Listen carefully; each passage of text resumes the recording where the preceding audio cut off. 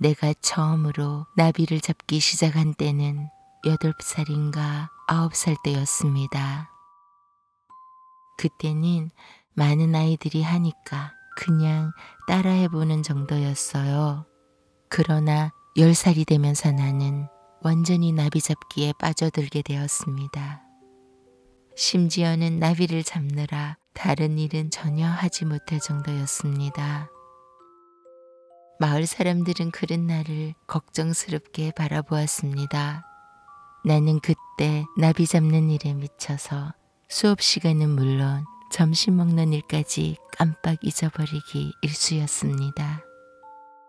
학교를 쉬는 날이면 빵 한쪽을 주머니에 넣고 아침 일찍부터 밤늦게까지 숲속을 이리저리 뛰어다녔습니다. 나는 지금도 아름다운 나비를 볼 때면 그때의 열정이 되살아나곤 하는데 그럴 때마다 나는 어린이만 느낄 수 있는 동심에 젖어 황홀하게 설레이기 시작합니다. 처음으로 노랑나비를 찾아냈던 소년 시절 그때의 기분 그대로를 느끼며 어느덧 나는 어린 날의 추억 속으로 빠져듭니다. 불꽃 향기 코를 찌르는 어느 날의 정오와 정원 속의 서늘한 아침 그리고 신비로운 숲속의 저녁 나는 마치 보물을 찾아 헤매듯이 나비를 찾고 있습니다. 아리따운 나비를 발견하면 너무 기쁜 나머지 숨이 멎은 듯 가만가만 다가갑니다. 특별히 진귀한 것이 아니라도 좋았습니다. 꽃 위에 앉아 빛깔 고운 날개를 접었다 폈다 하는 나비를 볼 때마다 나는 가슴이 뛰었습니다. 반짝이는 반점 하나하나 날개 속에 도드라진 맥선 한 줄 한 줄 가늘게 여린 두 가닥 촉각에 떨리는 갈색 잔틀까지 뚜렷이 보일 때 그때 느껴지는 긴장과 환희는 이루 말로 다할수 없습니다. 그 미묘한 기쁨과 거센 욕망의 교차는 어른이 된 이후에는 결코 느낄 수 없는 것이었습니다. 부모님은 내게 나비 잡는 일과 관련된 어떠한 장비도 마련해 주지 않았었죠. 그래서 나는 잡은 나비들을 헌종이 상자에 간추려 두는 수밖에 없었습니다. 병마개에서 뽑은 동그란 코르크를 상자 바닥에 붙이고 그 위에 핀을 꽂아 나비를 고정했습니다. 애써 수집한 나비들을 초라한 상자 속에 보관할 수밖에 없었는데요. 처음에 나는 친구들에게 내가 잡은 나비를 자주 보여주곤 했었습니다. 그러나 친구들의 나비 상자는 유리 뚜껑이 달린 나무 상자에 푸른빛 거절을 친 사육 상자로 내가 가진 것과는 비교도 안 되게 사치스러웠어요. 그 후 나는 친구들에게 나비 상자 보여주는 것을 그만두었습니다. 아주 가끔씩 꽤 마음에 드는 나비를 잡게 되었을 때도 친구들에게는 비밀로 하고 누이들에게만 살짝 보여주었습니다. 그러던 어느 날 나는 아주 특별한 나비 한 마리를 잡았습니다. 우리 고장에 쓰는 잘 보이지 않는 푸른 날개의 나비였습니다. 기쁨에 들뜬 나는 푸른 나비를 이웃집 에밀에게 보여주고 싶었습니다.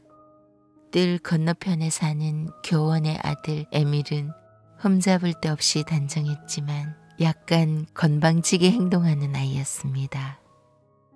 나비를 잡는 솜씨는 서툴렀지만 수집물을 깨끗하고 정확하게 정리하는 데는 뛰어난 재주가 있었습니다.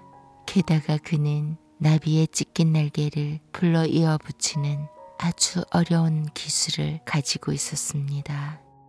어쨌든 모든 점에서 그는 모범 소년이었습니다. 그 때문에 나는 열등감을 느끼며 그를 미워해왔습니다. 나는 그에게 내가 잡은 중귀한 나비를 보여줌으로써 코를 납작하게 해줄 생각이었습니다. 에밀은 천천히 푸른 날개의 나비를 관찰했습니다. 마치 대단한 전문가라도 되는 듯한 태도로 말이죠. 이윽고 그는 아주 귀한 나비임을 인정하며 음, 10전짜리 가치는 되겠어 라고 중얼거렸습니다. 하지만 이내 눈을 빛내며 트집을 잡기 시작했습니다. 날개를 편 방식이 나쁘다느니 오른쪽 촉각이 비틀어졌고 왼쪽 촉각이 뻗어 있다느니 게다가 다리가 두 개나 떨어졌네 하며 이죽거렸습니다. 녀석의 혹평 때문에 나는 좋았던 기분이 형편없이 나빠졌습니다. 그날 이후 나는 두 번 다시 에밀에게 내가 수집한 나비를 보여주지 않았습니다. 그로부터 두 해가 지났습니다. 제법 머리가 굵은 소년이 되었지만 나는 여전히 나비 잡는 일에 몰두하고 있었습니다. 그때 놀라운 소문 하나가 친구들 사이에 퍼지고 있었습니다. 이웃집 에밀이 전박이 나비를 번데기에서 직접 길러냈다는 아주 놀라운 얘기였어요. 그건 정말 대단한 사건이었어요. 친구들 중 그 누구도 아직 전박이 나비를 잡은 적이 없었으니까요. 나 또한 낡은 책에서 그림만으로 겨우 보았을 뿐이었기에 나는 누구보다 전박이에게 호기심을 갖고 있던 터였어요. 몇 번이나 그림책을 들여다보며 언젠가는 전박이를 꼭 잡고 말 테야 라고 다짐하곤 했습니다. 나무둥치나 바위에 앉아있기를 좋아하는 갈색 전박이는 새가 자신을 잡아먹기 위해 다가올 때면 아름다운 뒷날개를 드러내 보인다고 했습니다. 그럴 때마다 새들은 겁을 먹고 함부로 덤비지 못한다는 것이었습니다. 그른 전박이를 에밀 녀석이 떡하니 길러냈다 하니 생각해 보세요. 내가 그 소문을 듣고 얼마나 흥분했을지.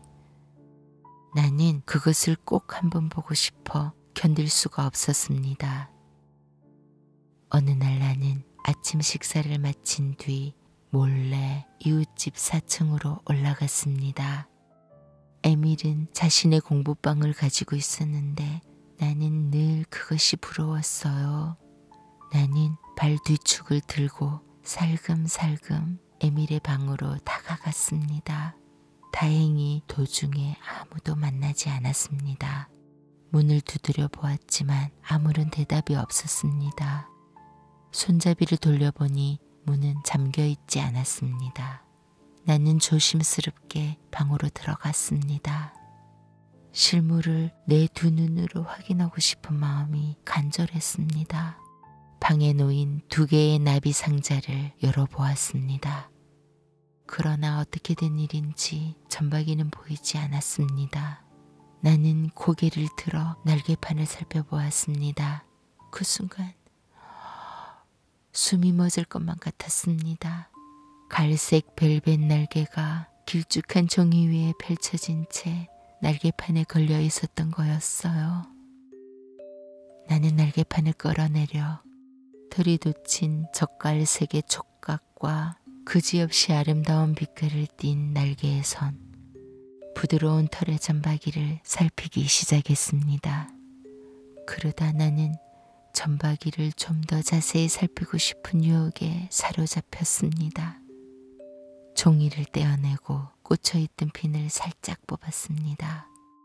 그러자 네 개의 커다란 무늬가 그림책에서 보던 것보다도 훨씬 더 아름답게 찬란한 빛으로 나의 눈앞에 드러났습니다. 가슴이 빠르게 두근거렸습니다. 나는 전박이를 손에 놓고 싶은 강한 욕망에 사로잡혔습니다. 결국 그날 나는 태어나서 처음으로 도둑질을 했습니다. 전박이를 떼어내어 손바닥에 올린 후 급히 에밀의 방을 나왔습니다. 나비를 오른손에 감추고 조용히 층계를 내려오는데 그때 아래편에서 누군가 위로 올라오는 발소리가 났습니다. 나비에만 정신이 팔려있던 나는 그제서야 양심이 찔렸습니다. 동시에 온몸으로 불안감이 엄습했습니다. 들키면 끝장이라는 생각에 나는 나비 쥔 손을 허겁지겁 주머니 속에 집어넣었습니다. 부끄러운 생각에 가슴이 서늘해졌습니다. 계단을 올라온 사람은 그 집의 하녀였습니다. 나는 태연하게 하녀와 엇갈려 현관을 나갔습니다. 얼굴이 홍시처럼 달아올랐고 팔다리는 덜덜 떨렸으며 등에 쓰는 식은 땀이 흘렀습니다. 그때 양심의 소리가 속삭였습니다. 나비를 가져가서는 안 돼. 라고 속삭였습니다. 괴로운 심정으로 잠시 망설이다가 결국 나는 발길을 돌려 에밀의 방으로 다시 돌아갔습니다. 주머니에서 손을 뽑아 나비를 책상 위에 꺼내 놓았습니다. 전박이는 앞날개 하나와 촉각 하나가 떨어져 있었습니다. 나는 울고 싶었습니다. 떨어진 날개를 조심스레 주머니 속에서 끄집어 내려고 했을 때 그것조차 산산이 바스라져서 이어 붙일 수조차 없게 되었습니다. 도둑질을 했다는 죄책감보다 이 아름답고 찬란한 나비를 내 손으로 망가뜨렸다는 사실이 나를 더 괴롭게 했습니다. 나는 멍한 얼굴로 손과 책상을 번갈아 바라보았습니다. 날개의 갈색 분이 손끝에 잔뜩 묻어 있었습니다. 책상 위에는 날개에 바스러진 조각들이 이리저리 흩어져 있었습니다.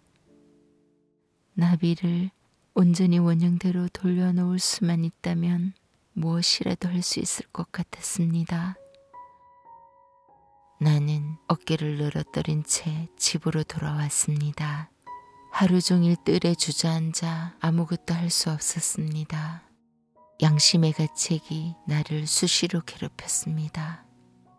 결국 나는 용기를 내어 모든 일을 어머니께 말씀드렸습니다. 어머니는 슬픔에 잠긴 얼굴로 내게 말했습니다. 에미를 찾아가서 사실을 고백하고 용서를 빌어라. 그것밖에 어떤 방법도 없구나. 그래도 안 되면 네가 가진 것 중에서 하나를 주겠다고 해보렴. 만약 그 상대가 에밀이 아니었다면 나는 스슴치 않고 찾아가 용서를 빌었을 거예요. 하지만 에밀에겐 그러고 싶지 않았습니다. 그가 나의 사과를 받아주지 않을 것이라는 걸 잘 알고 있었기 때문입니다. 저녁이 될 때까지도 용기를 내지 못하고 머뭇거리는 나에게 어머니는 재차 말했습니다. 꼭 오늘 중으로 찾아가야 한다. 결국 나는 에밀을 찾아갔습니다. 에밀은 나를 보자마자 전박이에 관한 말부터 꺼냈습니다. 아, 누가 그랬는지 전박이를 아주 엉망으로 만들어 놓았어. 라는 것이었습니다.